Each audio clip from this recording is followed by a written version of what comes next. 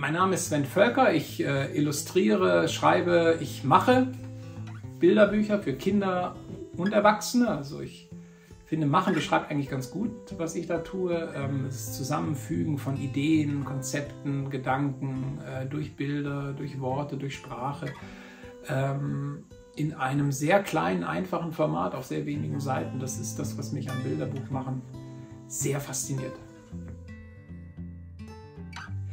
In meinem Buch Eine Million Punkte geht es um das Zählen und um Zahlen natürlich, ähm, aber es geht mir vor allem um die wirklich großen Zahlen. Ich wollte ein Buch machen, in dem wirklich viele, viele, viele Dinge gezählt werden können und es um große Zahlen geht.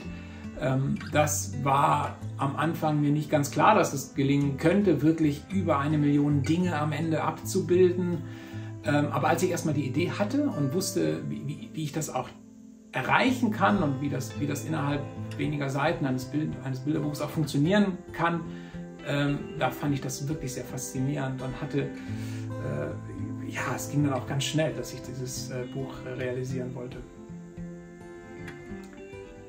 Ähm, auf keinen Fall. Mathematik ist äh, in der Schule ein Fach gewesen, das mir relativ wenig Freude bereitet hat. Ich war auch nicht gut ähm, und im Nachhinein ist es fast schade, denn das die Mathematik eigentlich eine sehr interessante Art ist, die Welt zu betrachten, zu verstehen, äh, auch zu erklären, das ist mir eigentlich sehr viel später erst klar geworden. Und dass in der Mathematik nicht nur richtig und falsch und Rechnen und Gleichungen steckt, sondern dass in Mathematik auch eine Schönheit äh, und eine ganz besondere Ästhetik steckt, das äh, finde ich total faszinierend.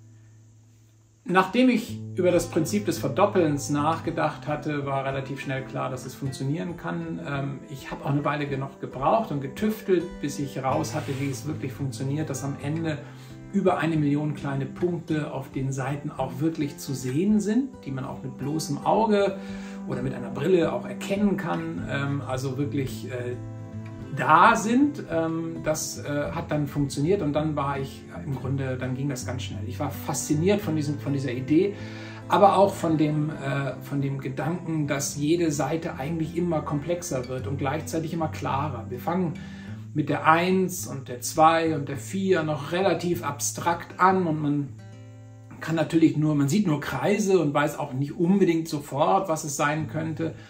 Ähm, und je mehr Punkte zu sehen sind, 8, 16, 32, 46, 64, umso, umso deutlicher wird eigentlich, äh, was ich da sehe. Und ähm, am Ende bei über einer Million Punkte ist es schon sehr, sehr hochauflösend und wahnsinnig komplex ähm, und vielschichtig. Das war eine Riesenüberraschung. Es hat mich total gefreut. Ich habe es auch nicht erwartet. Ähm, äh, es ist auch erst mein zweites Bilderbuch, ähm, das ich äh, veröffentlicht habe. Und es war ein Riesen, ein Riesenglück, ja, eine Riesenfreude. Ich freue mich vor allem auch, weil es ein Buch ist, das nicht eine klassische Geschichte erzählt und auch sehr abstrakt und sehr grafisch ist, und aber trotzdem jetzt auch äh, sein Publikum findet, viele, ähm, viele Leser oder Zähler äh, gefunden hat. Ähm, und äh, das ist, freut mich sehr.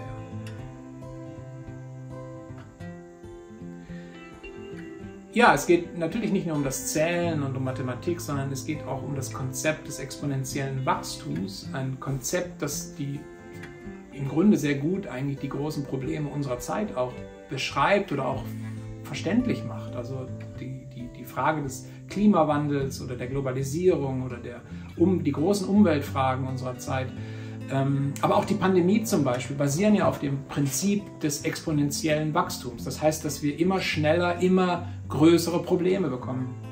Dass unsere Entscheidungen, die am Anfang noch relativ klein sind, mit wenigen Schritten durch diese exponentielle Kraft ähm, eine riesige Auswirkung äh, erreichen können.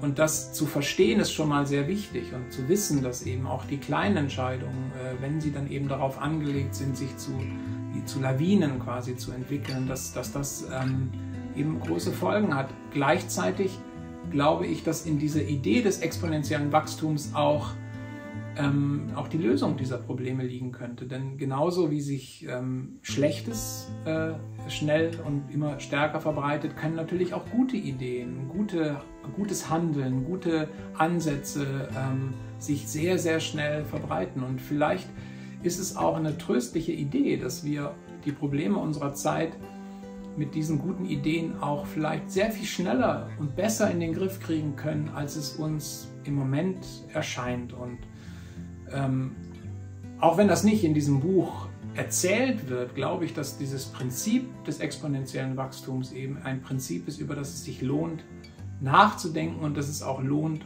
zu verstehen und auch zu begreifen.